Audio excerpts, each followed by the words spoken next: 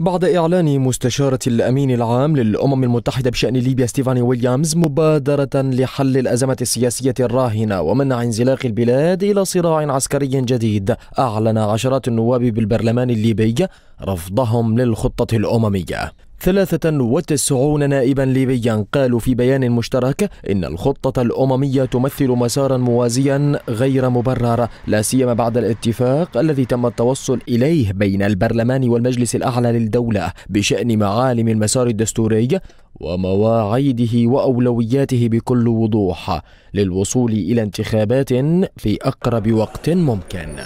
وحظيت المبادرة الأممية التي تدعمها دول غربية بترحيب الأطراف السياسية في غرب ليبيا كالمجلس الأعلى للدولة والحكومة والمجلس الرئاسي.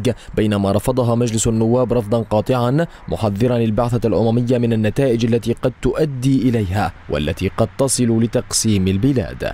والأسبوع الماضي اقترحت المستشارة الأممية في ليبيا ستيفاني ويليامز تشكيل لجنة تضم ستة أعضاء من البرلمان وستة من المجلس الأعلى للدولة على أن تجتمع في الخامس عشر من آذار مارس الحالي في أي مكان يجري التوافق عليها من أجل وضع قاعدة دستورية للانتخابات.